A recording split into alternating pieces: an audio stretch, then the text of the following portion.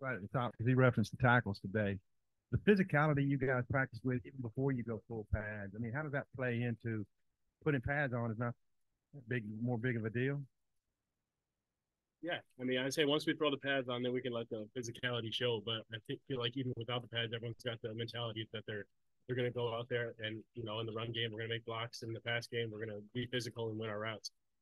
Uh, now, uh, I was about to say, um, that's a standard not for the defense but for the offense. I see it from the offense as well.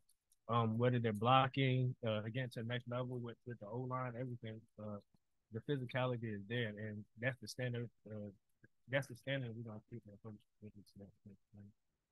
Y'all needed a real muggy day. What did y'all think of that span of mornings in a row that were misty and light and cooler? What what do you think? I enjoyed practicing in the morning.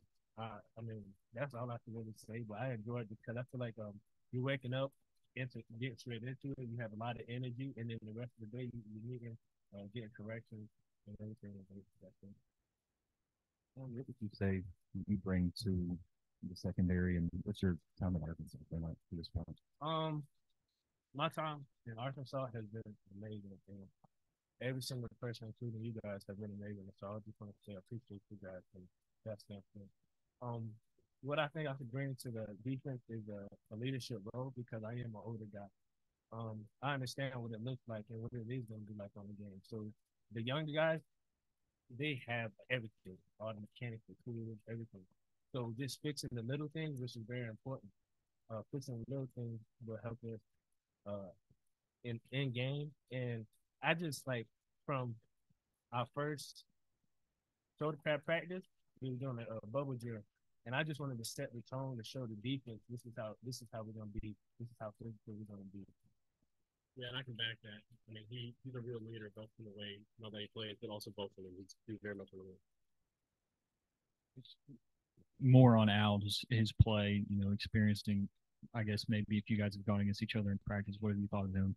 Yeah, I mean, actually, on my official visit, I was here with Al, so I got to know him a little bit on my official visit. You know, we exchanged highlights and we watched each other, so we've had that connection since uh since day one. I know y'all see, and it happens in practice too. Like y'all, it, I I don't know. Like I'm just really excited about the season, but I know we have to take it each each day at a time, each practice at a time, each meeting at, at a time. And I don't like to look far into the season, but man, that's I'm just really excited. Yeah, that's all I feel the other defensive backs, there's, there's a lot of new faces in that room. You know, can you maybe go through any guys that have stood out to you, uh, just you know, going against them in practice? Yeah, I mean, Snacks brings it every day. He's he's one of those guys that you know they talk they like to talk about corners not being physical. You know, they're kind of scared of putting their nose in on the run game, but he's a guy that's going to go put his shoulder down and make some tackles, but also someone that can you know stack up with any uh, receiver in the SEC. Uh, asked Andrew yesterday kind of what was the biggest change from going from a smaller school to the SEC. He said that the seats in Razorback Stadium for you, what's kind of been like the biggest oh wow moment I'm here playing in the SEC? Yeah, I mean just the the skill level of the DBs and just how smart and physical they are is something I never really faced at the D2 level. Obviously, you know that's more of a, a tribute to the SEC than it is like a knock on D2 because there's like obviously a ton of good players uh, where I was before, but definitely just you know the physicality, and I didn't face a lot of man to man back at Hillsdale. So here, learning how to get off man to man and press and stuff like that is something I've needed to adjust to. Off the field specific, that's that stood out. Man, I just love the community here. Uh, my first time ever coming to Arkansas uh, was on my visit, and you never know what to expect when you're visiting somewhere that uh, many people don't know about. So coming here to Fayetteville, it's just you know, the atmosphere, of the fans here, and just the pe- people, the community. I feel like it has been incredible. Al. Do you have Coach Pittman say prefers you at safety, but you may have to play some hog, nickel, whatever. Do you have a preference between those two, or does it make you any difference? It doesn't make any difference. I love to be on the field, whether it's a corner, linebacker. If I could play DN, I would. But um, uh, in the DB room, uh, Coach Wilson does a great job of having us uh, learning each and every spot because whether uh, Jay Lou has uh, is playing a hog. He still has to learn the uh, free safety and boundary safety because you know uh, we might want to rotate each other, uh, all of us in there. So um, it doesn't matter to me personally. I'm not sure. Very good luck for your group. But Coach said that you made up some time in the summer do you feel like you know quite a bit of the playbook? I mean, you feel pretty comfortable in the defense now. Oh yeah, most definitely. I um even in the spring, you know, when I was out, I was still in those in the in the playbook and in meetings and stuff, to do, you know, trying to lead off the field. You know, although it is kind of hard, you're not on the field, not understanding um where they're, they're they're going through out there with um like the plays and stuff and but you know, just trying to lead in that way and um yeah. This guy said the other day was in here, he said about, I think he said nine receivers would travel or something, but all of you play special teams. Just talk about how it's been for you, uh, Broden and Armstrong coming in as transfers and adjusting to everything and working on special teams and in the rotation too. yeah, obviously coming into a new situation, you never know what to expect. Uh, but you know, you said me, Broden, Armstrong. I feel like we have really adjusted to, you know, the kind of practice style that we have, the offense that we have with uh, Coach Enos, and then just in the receiver room with Guiton. I feel like he's a real leader, and he knows, you know, how to get us right and uh, really motivates us in the in the film room, and then also on the field as well. Question to both you guys. Um, Isaac, uh, specifically you, uh, uh, what have you seen from him? Like, it seems like he just keeps showing up and, and, uh, if you've got any thoughts on, on him also from a defensive back standpoint. Um, from the from what I see from the spring to now, his uh, I believe his route running ability to try to stack a a, a, a DB and get in and out the breaks. That's what I'm seeing from him. And then um, he's becoming more uh more of a leader. Although he's younger, but he's, he's becoming more of a leader as well from what I'm seeing. Yeah, he was talking about the details. I feel like he's really been, you know, on the field, uh, figuring out the details of wide receiver, but also he's just one of those high motor guys. He's he's going to be, you know, 110 percent every single play, no matter what. And, uh, what's your thoughts on, on KJ from a defensive standpoint and, and offensive? Yeah, I mean, I feel bad for for the defense, honestly. I mean, how do you even how do you handle someone like that that can, you know, throw the ball, uh, and you know, be such a threat in the run game as well? It's KJ Jefferson, you know what I mean? Um, a, a leader, you know what I'm saying, all around. And then, you know, you got a great offense to complement a, a great defense, you know. Yeah. So it's gonna be I just I believe that.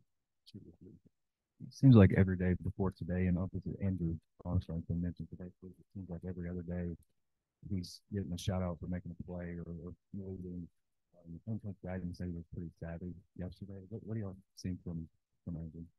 Yeah, I mean, I feel like I'm running around and I look over my shoulder. Next thing you know, the ball's going down to Andrew, 60 yard touchdown every other play. I mean, that dude, he's just, I mean, for the how big he is, his size and speed and savviness, it's just crazy how able, like how good he is at, you know, getting in and out of breaks and stuff like that, but also being able to just burn by a DB. He's just, he's a real dog.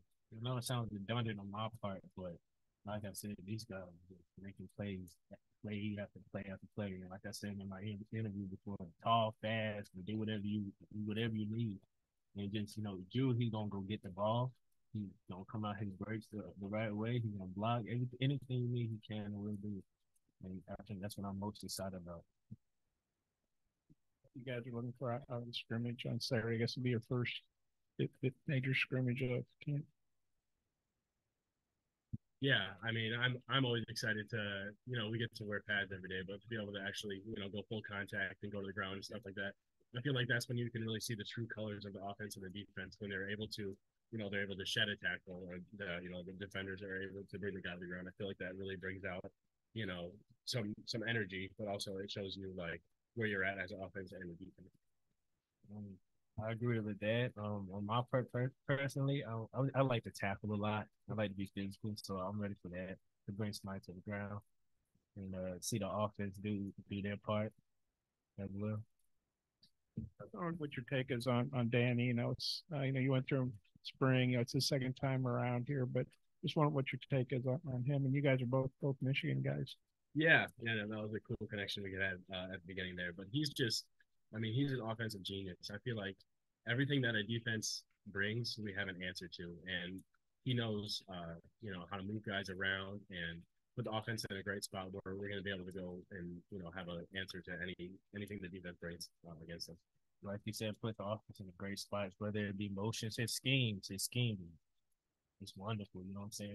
To see it as defense, he makes he makes uh, the defense better. You know what I'm saying? No, we have to adjust to certain motions and things, you know, that you're probably not expecting. So you're gonna have to communicate. We're gonna have to communicate on the back end and in the front to um to answer to those uh, type schemes.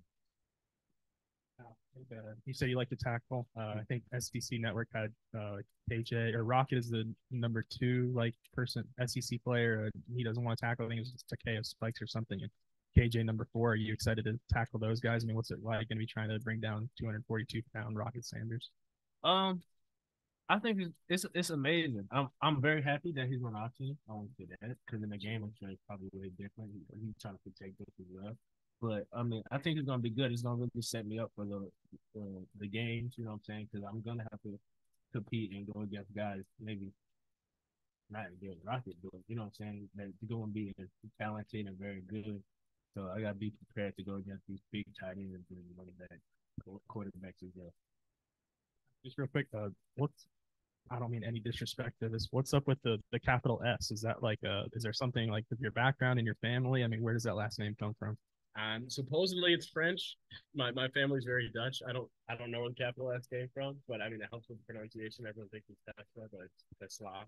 So I, I don't know where it comes from, but I think it's pretty neat. Uh, Coach Sowders said the other day that you're he called you a freak show in the weight room. Just what are some of the areas as far as uh you know in the weight room body transformation you feel like you've made the biggest strides since you got here? Yeah, you're right. A freak show. Like I'm watching it, bro. I'm like, what the heck? As a receiver, you know what I'm saying? No, I'm I'm pretty strong guy as well, but watching. Like the clean bench squat. Huh? That's gonna be a problem.